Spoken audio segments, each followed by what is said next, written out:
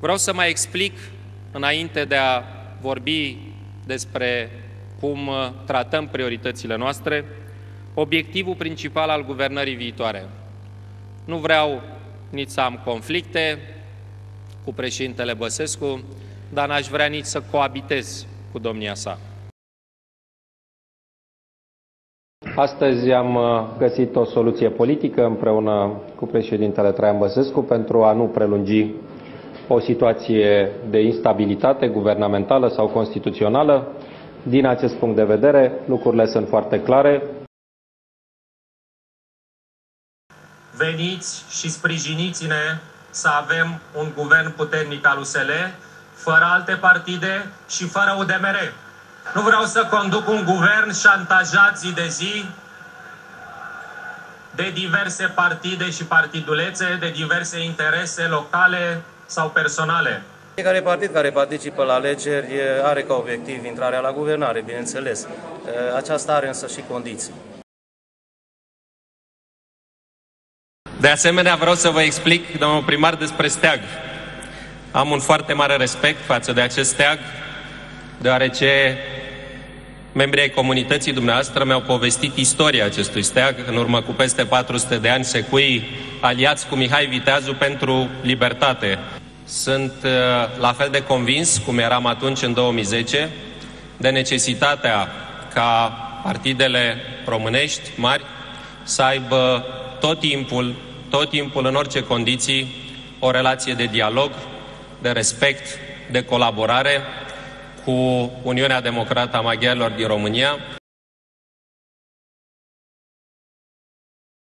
Cred că mediul de afaceri, mediul de afaceri privat, este cel care creează bunăstare, este cel care creează stabilitate. Avem nevoie de mai puține taxe, dar pe care să le încasăm de la toți, nu doar de la unii,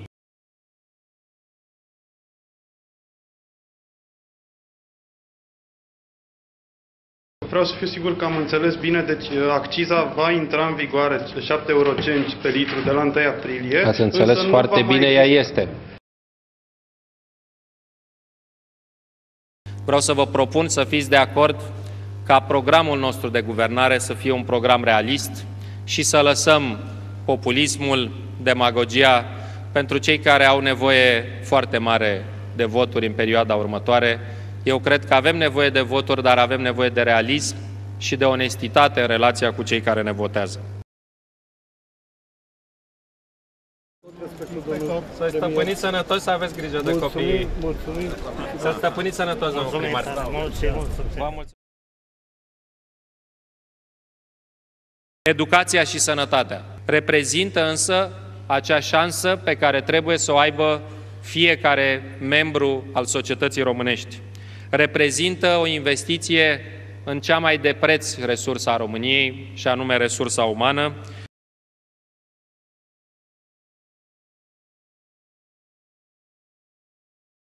Trebuie să avem manuale digitale. Nu mai există niciun elev care să nu știe să folosească o tabletă, un telefon, un computer. De fapt, cei mai mulți dintre ei ajung încă foarte greu la școală. N-au după ce să învețe și stau zi de zi în băncile vechi și rupte de zeci de ani.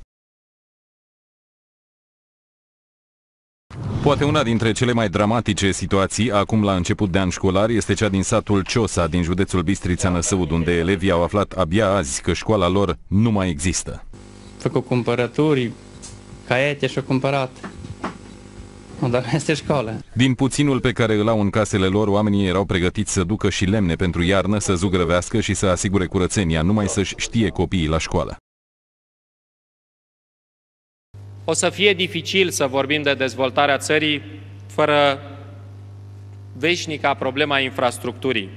Fără o dezvoltare realistă, România se va sufoca, România va rămâne subdezvoltată și va începe să fie ocolită de marile coridoare economice și de transport.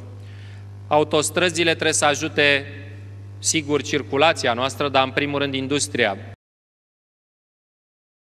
După ce s-a lăudat că sumele alocate pentru investiții nu vor fi afectate anul acesta, guvernul recunoaște până la urmă că nu are bani pentru drumuri. Autostrada Sudului, Autostrada Transilvania, dar și cea care leagă Iașul de Târgu Mureș nu vor primi niciun leu de la buget. Executivul are fonduri doar pentru ultimii 6 km din autostrada București-Ploiești. Restul lucrărilor vor fi gata la Sfântul Așteaptă dacă funcționarii statului nu vor face eforturi să acceseze fonduri europene.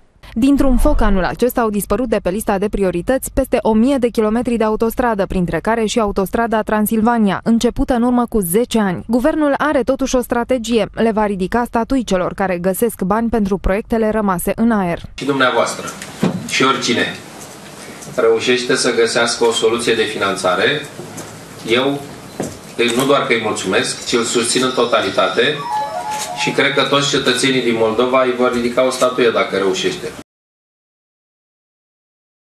Sunt absolut convins că vom putea, într-un model de dezvoltare regională, să readucem taxa pe valoare adăugată la 20%, așa cum a fost înainte de decizia profund greșită adoptată de guvernul anterior,